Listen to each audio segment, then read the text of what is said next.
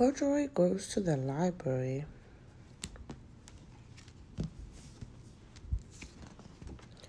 Today is Corduroy's favorite day of the week because today is the day he goes to the library. But first, he must find the three books he needs to return. Now, where could they be?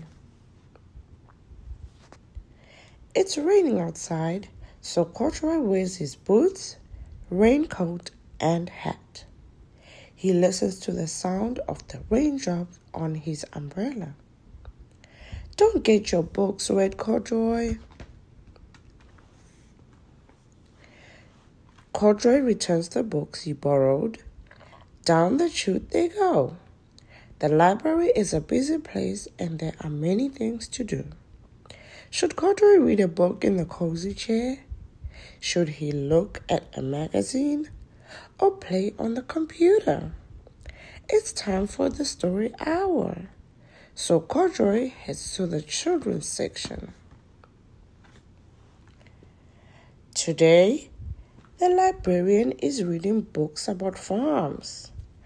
After the stories, everyone makes animal masks. Corduroy pretends to be a cow. Moo, moo. Next week, we play a game called Who Am I? says the librarian. Come dressed as a favorite character from a book.